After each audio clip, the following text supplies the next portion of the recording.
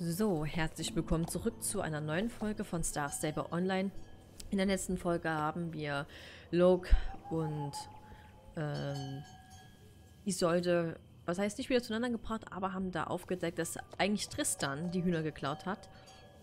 Und die DB2 macht noch eine Willkommensfeier, da braucht sie noch einen Tag, um alles vorzubereiten. Ja, da haben wir dann die eine Quest hier in Jalaheim gemacht, die ja, uns jetzt zu einer Theatertruppe geführt haben, wo wir jetzt auch Mitglied sind. Und in der heutigen Folge werden wir mit der guten Susanna sprechen. Weil wir müssen nämlich noch eine Wettbewerbsbahn aufstellen. Wie schön, dass Jack endlich Hilfe schickt. Was? Jill hat dich geschickt? Ja, ja, solange ich Hilfe bekomme, bin ich froh. Also früher wohnte ein altes Ehepaar bei der Seepferdklippen bei den Seepferdklippen. Aber vor ein paar Monaten sind sie weggezogen. Sie hatten großes Unglück. Erst sind ihre Tiere erkrankt, dann wurde das Wasser schlecht und der ganze Hof wurde unter Quarantäne gestellt.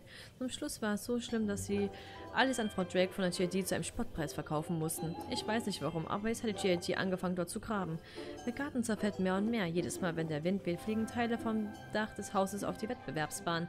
Wenn du alle Teile des Daches aufsammeln könntest, können wir die Bahn bald wieder eröffnen. Ich traue mich nicht, die Bahn zu öffnen, solange sie nicht frei von Schutt und Müll ist. Das könnte richtig ins Auge gehen. Das, achso, ja, ja, ja, ja, ja. Achso, oh. ja, also es war irgendwas mit Hühnern. Wahrscheinlich müssen wir jetzt noch Hühner einfangen. Ja, ich dachte gerade irgendwie, dass ich aus Versehen mich verklickt habe. Vor allem, was haben die hier die Pferde zu suchen?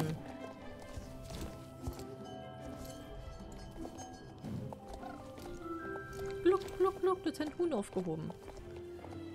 Das geht zumindest leichter als hier die Hühner von den Sunfields.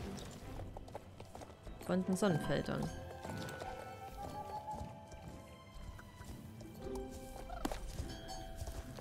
So.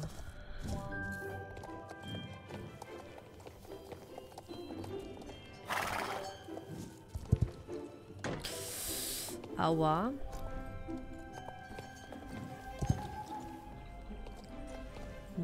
Hallo? Da. Hier noch einmal. Und dann weiter unten.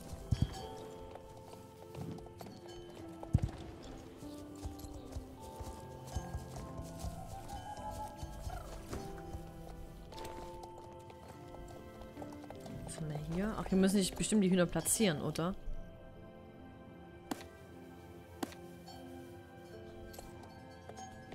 Man, ich werde einen Huhn platzieren. So. Sollen wir hier wieder hier runterreiten irgendwo? Oh mein Gott, was ist das denn für eine Reitbahn? Die wird ja wieder überdimensional werden.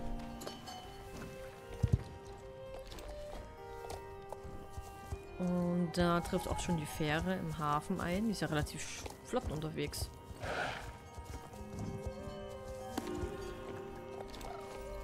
Und da haben wir das letzte Hühnchen.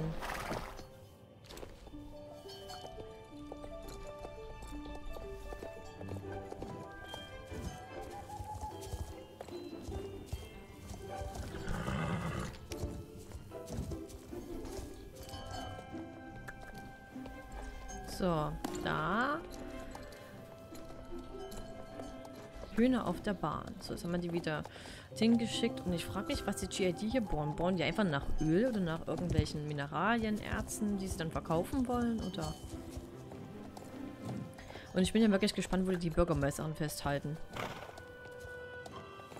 Und was es auch überhaupt mit dem Haus da drüben auf sich hat. Sehr gut, bald können wir den Wettbewerb eröffnen. Super, jetzt sind die Hühner in Sicherheit, wenn wir reiten. Das alte Ehepaar von den Seepferdklippen hat die Farm an GID samt der Tiere verkauft. Duh, ne? Die GID-Arbeiter scheinen sich nicht um die Tiere zu kümmern, also habe ich mich derweil um sie gekümmert. Heute Morgen habe ich festgestellt, dass zwei Pferde weggelaufen sind. Einer der Arbeiter hat wahrscheinlich das Tor geöffnet. Diese beiden sind sehr gerissen. Sie finden immer einen Weg nach draußen. Nimm diese Zuckerwürfe und versuche sie zu finden. Beeil dich, wenn die Bengel zurück sind, dann können wir die Strecke eröffnen. Oh, das muss mir nicht zweimal sagen, Susanna.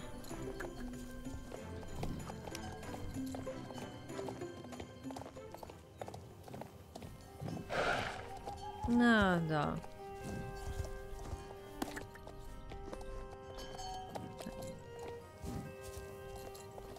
So, wo ist jetzt noch das zweite Pferdchen? Ach, da.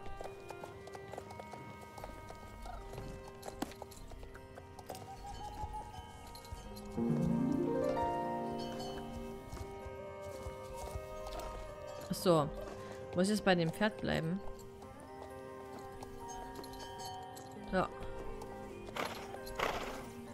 Ach komm, ich bin nur drei Meter weg. Los, hopp, hopp.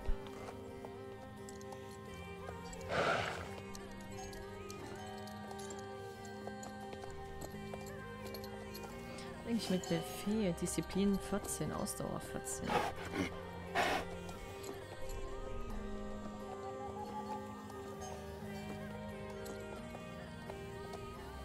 Muss ich ja nur mal gucken, wo das andere Pferd ist.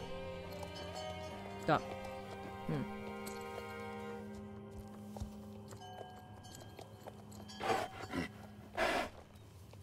So, dann lasse ich das mal kurz hier stehen. Dann nehme ich mal das kurz mit. Dann kann ich die beiden nämlich zusammen dann dorthin führen. So. Ich weiß nicht, was ist das für eine Rasse? Ist das das jorvikische Warmblut? Mit Sicherheit, oder? Ja.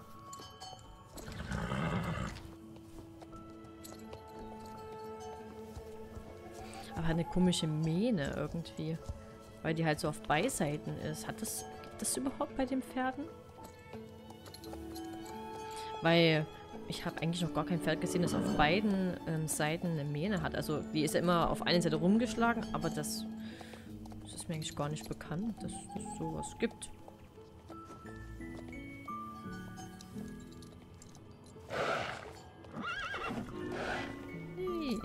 So, ja, aber ich, eigentlich müsste ich jetzt noch ein Tor basteln, damit die nicht nochmal irgendwie ausbüchsen können.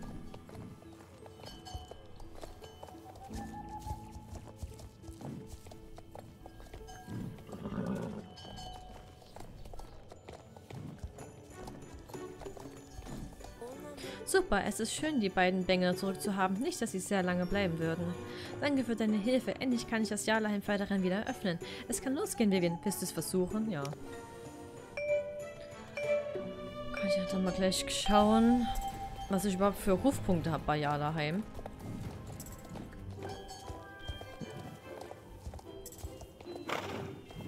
Da war die Wettbewerbsmusik nur 5 Sekunden aktiv und dann wurde die wieder von dem wundervollen Bimmeln unterbrochen.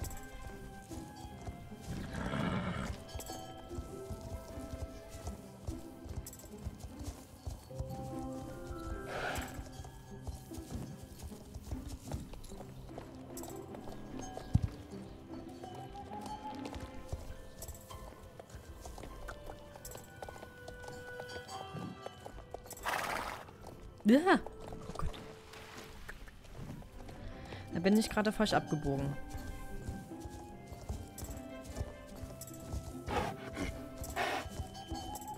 Und wo muss ich hin? Hier hin, ne? Und dann dahin. Okay, alles klar.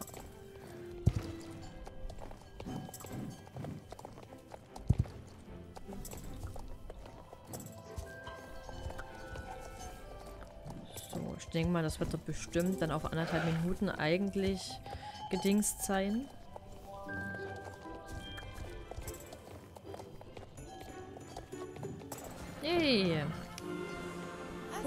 Super, du reist sehr schnell. Yay, jetzt haben wir das freigeschalten. Gut, da werden wir jetzt noch so lieben äh, Doreen. Ich glaube, Doreen war die andere, die noch eine Aufgabe für uns hatte. Dann haben wir Jalaheim schon abgeschlossen, beziehungsweise Jalaheim und Umgebung. Dann bin ich ja gespannt, was wir jetzt noch alles zögern müssen, um dort weiterzukommen. Höchstwahrscheinlich halt die Hermann-Geschichte. Aber auch ein bisschen blöd, dass man da erst im Jorvikstall aufsteigen muss um halt da mal irgendwie was rauszubekommen, wo der liebe Hermann ist.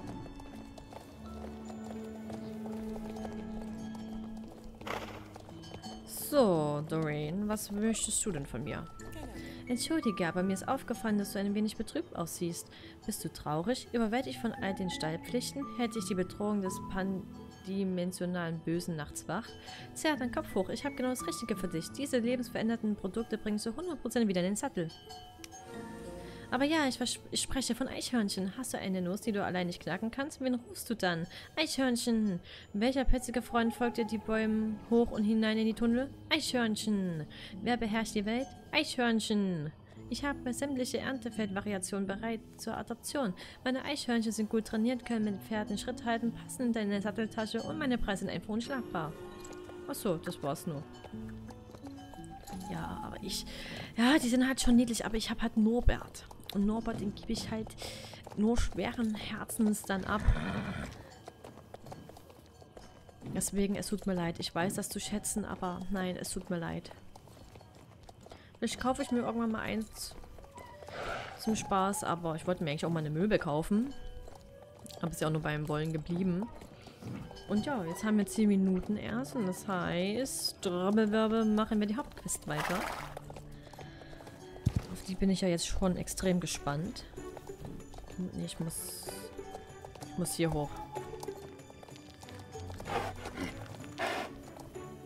Hoch.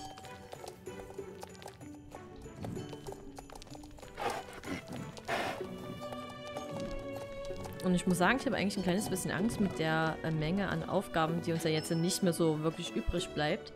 Und unserem Stufenaufstieg. Das wird da relativ knapp werden.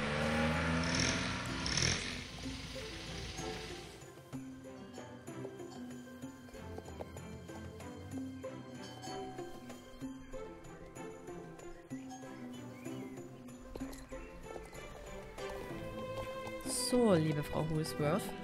Dann wollen wir mal anfangen mit dem Traumprojekt. Sind sogar alle schon da. Dann sind wir ja auch komplett. James, du bist so klein. Nimm also nur eine Viertel Schlaftablette. Steck die Rübe in deine Ohren und leg dich auf den Tisch bereit. Ich bin bereit. Rüben auf ihre Plätzen. Schlaftabletten geschluckt. Äh, Vivian, ich kann nicht so gut auf dem Rücken schlafen. Nach den Schlaftabletten bin ich so müde und kann mich nicht aus eigener Kraft umdrehen. Kannst du mich auf den Bauch drehen? Ist ja wirklich extrem klein, der James.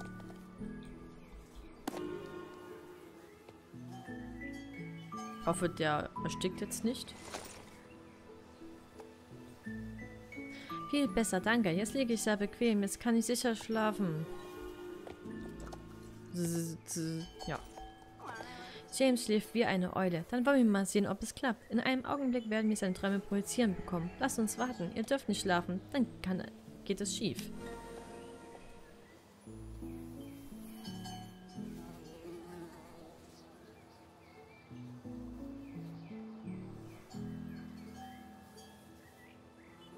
Es hat jetzt ist ja ungünstig, dass wir dieses Gebimmel ist, ne? Ach ja, stimmt. Stimmt, die gab es ja auch noch. Das war ja im vierten Teil, ne? Ah, aber ich weiß gar nicht mehr, was sie halt vom James wollte. Es hat funktioniert. Habt, ihr habt etwas gesehen? Natürlich hat er Albträume, wenn er träumt, sodass er von einem Mädchen entführt wird. Die sah nicht nett aus. Richtig gemein. Kein Wunder, dass er nicht schlafen kann. Jetzt bin ich hellwach. Was habe ich geträumt? Eine weißhaarige und eine weißgekleidete Frau hat mich entführt? Wie schrecklich. Ich... Warte, nein, ich kann mich nicht daran erinnern. Es ist einfach nicht in meinem Gedächtnis. Nichts. Alex, weißt du etwas? Du siehst so erschrocken aus. Ja, kleiner Bruder, ich erinnere mich. Ich erinnere mich sogar sehr genau. Die Frau, von der du träumst, heißt Katja und es ist eine geheimnisvolle und böse Kreatur, die mit einem Bein in einer anderen Welt namens Pandoria steht. Sie hat dich vor ein paar Jahren entführt und wollte mich und mein Pferd im Tausch haben. Erinnerst du dich nicht? Komisch. Ich besiegte sie in einem Wettbewerb und durch ein Versprechen und einem alten Kodex war sie gezwungen, unsere Welt zu verlassen. Komisch, dass du dich nicht erinnerst. Du musst es verdrängt haben. Ist vielleicht auch besser so. Katja, oi, wenn sie zurück ist, wird sie vielleicht der vierte Nachtreiter? Das kann den Untergang für alle bedeuten. Oh oh. Gruselig. Was kann es für mich bedeuten? Die Frage ist ja, was das jetzt für uns bedeutet. Vor allem, wenn die Welt vom Untergang bedroht ist, dann bist du vielleicht nicht mehr der Mittelpunkt, mein kleiner James. Mach dir also nicht so viele Gedanken. Wir machen das schon. Vivian, denkst du, was ich denke? Stell dir vor, es ist Herr Sands und seine dunklen Kreaturen, die es irgendwie geschafft haben, Katja in unsere Welt zurückzubekommen. Was, wenn Katja nur deren vierter Nachtreiter ist? Dann hätten wir jetzt große Sorgen. Was sollen wir machen? Die anderen Nachtreiter finden? Aber, aber, aber, hallo, ihr sollt mir doch helfen. Jetzt habt ihr das vergessen. Ich bin derjenige mit dem Problem. Ich bin so müde, ich will keine Albträume mehr haben. Jetzt, Mädels. Frau Hulsworth, was sollen wir denn tun? Ich habe eine Lösung für dich vorbereitet, James. Sei nicht traurig. James, du darfst nicht zuhören, wenn ich Vivian Anweisungen gebe. Also zurück mit den Rüben in die Ohren, während ich mit Vivian spreche. Wir machen das so. Wir werden die Albträume aus seinem Unbe Unterbewusstsein verscheuchen, indem wir ihm einen Schreck verpassen. Vielleicht wird er auch noch ein paar andere Sachen vergessen, aber etwas Schwund ist immer. Hört nun zu.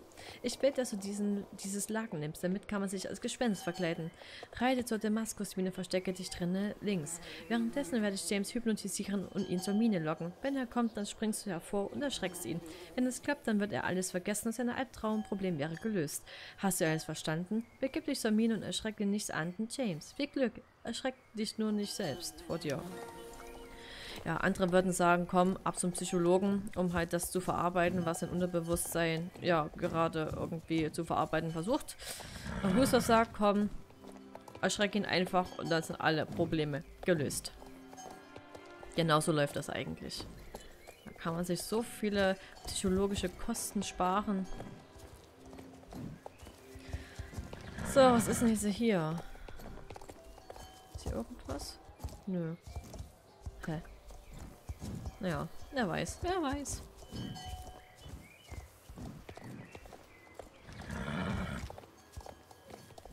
Habe ich das Lagen jetzt mitgenommen? Ja.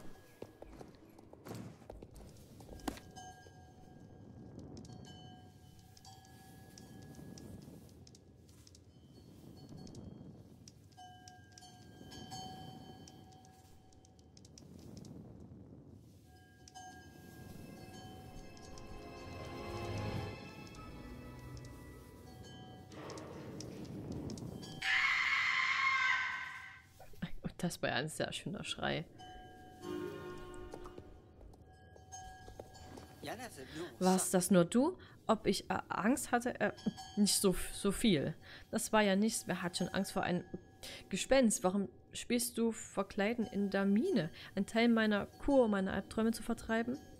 Äh, welcher Albtraum, Albtraum denn? Ich bin also geheilt, sagst du? Okay, hört sich gut an. Ich fühle mich, als wäre ein, eine große Last von meinen Schultern genommen worden. Ich fühle eine gewisse Harmonie, die ich nie zuvor gefühlt habe. Komisch. Ich danke dir, Vivian. Ich kehre nur nach äh, Fort Pinter zurück. Viele Grüße an Frau Hulsworth. Ich bedanke mich für alles. Kein Problem. Immer wieder gerne, James.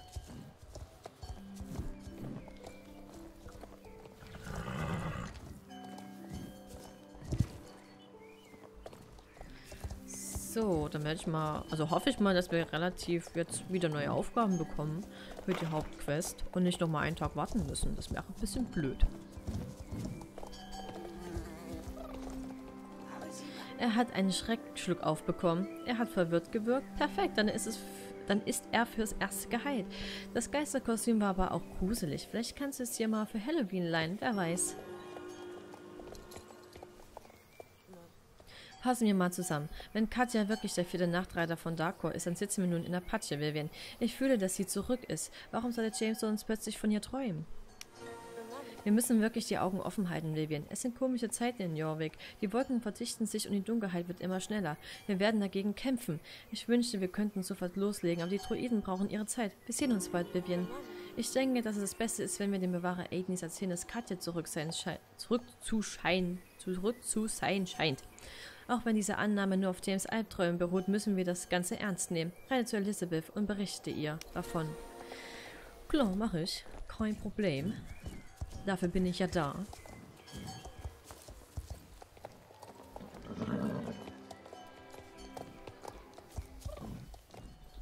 So. Vale Village.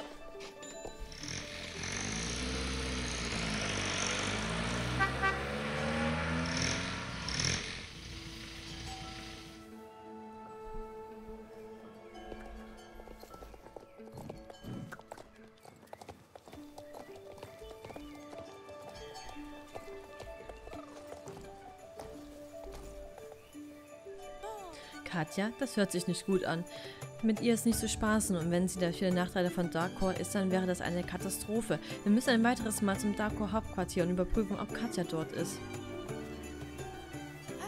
Dann ist es auch wieder Zeit für einen Besuch beim Darko-Hauptquartier, um dort nach dem Rechten zu sehen. Können wir herausfinden, ob Herr Sens wirklich das Buch der Lichtzeremonien hat? Können wir erfahren, ob er Katja wirklich herbeirief, um sie zum vierten Nachtreiter zu machen? Können wir herausfinden, ob sich Justin Darko aus freien Willen angeschlossen hat oder ob er gezwungen wurde? Wenn er gezwungen wurde, können wir ihm vielleicht helfen. Diese Fragen sind jetzt am wichtigsten. Der Auftrag ist sehr gefährlich, aber du hast es schon einmal geschafft. Mit den Resultaten deines Druidentrainings glaube ich, können wir uns sicher sein, dass du es wieder schaffen wirst. Bist du bereit? Ich habe bisher aber noch kein Druidentraining gehabt. Gut. Ich habe schon mit Captain Bruce gesprochen und er hat sich um deinen Transport zum Darkcore-Hauptquartier gekümmert. Er will, dass du vom Weingarten Diesel mitbringst. Er braucht Treibstoff für die Bootstour, die dich zum Darkcore-Hauptquartier bringt. Du kommst sowieso am Weingarten vorbei. Kannst du also ein Fass mitnehmen? Viel Glück, Vivian. Sehr vorsichtig. Möge dich das Licht Aidins beschützen. Das eskaliert aber hier gerade wieder richtig.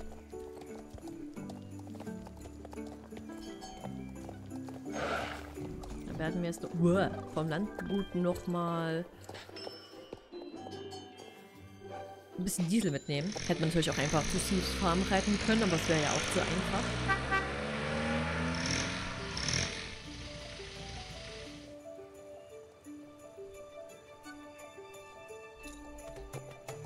Ach, ich muss die Baroness bestimmt fragen, ne? Ja. Oder Carney. Hallo Vivian, ein Fass Bootstreib Boot, Bootstreib, Treibstoff für Captain Bruce. Schwieriges Wort. Das stimmt, das Fass steht fertig vor dem großen Tanker beim Ausrüstungsgeschäft. Du kannst es nicht verfehlen. Nimm das Fass und transportiere es auf dem Vaterrücken zu Captain Bruce ins Westkap Fischerdorf. Ah, nee.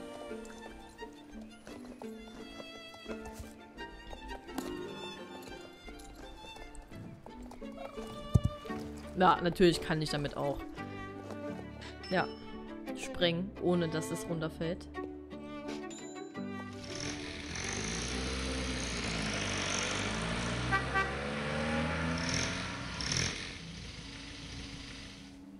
Ah, da kommt wieder die schöne ah, harmonische Musik.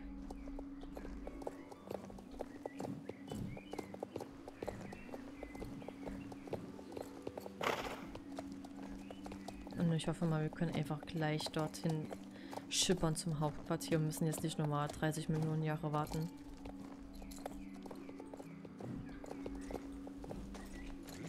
Oh, mein Dank für die Lieferung. Das wird für beide Wege reichen. Aber, aber, der Steuermann sollte hier sein. Er weiß doch, dass er helfen muss. Wir müssen bis morgen warten hoffen, dass er auftaucht. Du hast keine Zeit, so lange zu warten? Okay, aber wo kann er denn sein? Was verspätet mein nördliches Auge? Beim Bade des Prophetens. Ich glaube, ich sehe ihn auf seinem Motorboot beim westlichen Strand. Dort beim Roten Haus. Siehst du, oh, reite zu ihm. Ja, klar, mach ich.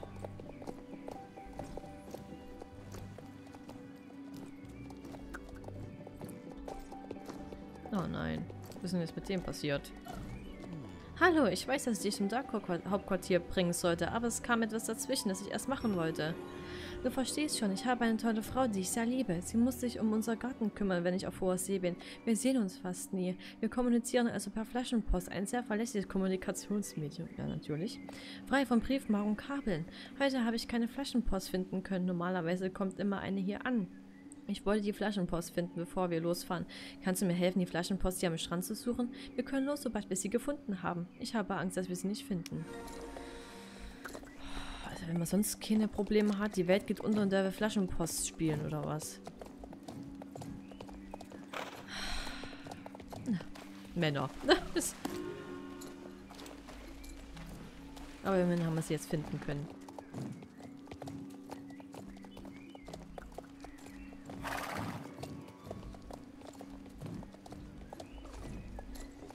Danke, Vivian. Jetzt geht es mir wieder gut und ich muss mir keine Sorgen machen. Kannst du mir bei noch etwas helfen? Nein, du hattest nur einen Gefallen frei. Ich brauche mehr Flaschen für meine Flaschenpost. Ich sammle normalerweise Flaschen im Westkap-Fischerdorf. Die Leute werfen ja ihre Flaschen überall hin. Wenn du also ein Dutzend Flaschen für mich sammeln könntest... In der Zwischenzeit werde ich das Boot betanken und alles vorbereiten. Ich werde neben Captain Puss anlegen. Wir sehen uns, wenn du ein Dutzend leere Flaschen hast. Ähm.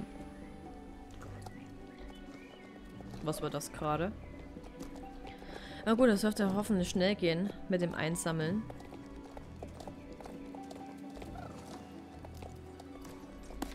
Ach ja. Das machen wir noch, dann bringen wir die leeren Flaschen zu unserem neuen Lieblingsfreund. Und dann würde ich an der Stelle die Folge beenden. Und in der nächsten Folge werden wir wieder zum Darkcore Hauptquartier reiten. Und was mit der Hexe P ist, das interessiert jetzt auch keinen mehr. Dass die immer noch in diesem Sommer... Achso, das ist ja Leuchtturm. Ich dachte, da gibt gerade irgendjemand diese Leuchtsignale. Ja, es interessiert jetzt auch keinen mehr, was mit der guten Frau ist. Und was mit dem Sommerhaus ist, weil die müssen ja eigentlich wieder zusammengeführt werden, rein theoretisch. 11. Oh, Nummer 12.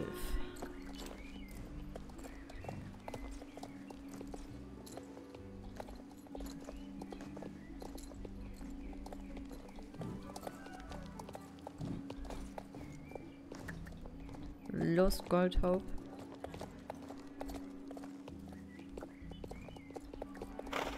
So, dann werden ich hier jetzt äh, die Folge beenden. Und in der nächsten Folge werden wir uns mit dem Steuermann wieder auseinandersetzen, dem die zwölf Flaschen, also die zwölf leeren Flaschen überbringen. Jo, und dann bin ich gespannt, was wir im Darko Hauptquartier nun erleben werden. Und ich hoffe natürlich, dass euch die heutige Folge gefallen hat und dass ihr in der nächsten Folge von Star selber online wieder mit dabei sein werdet.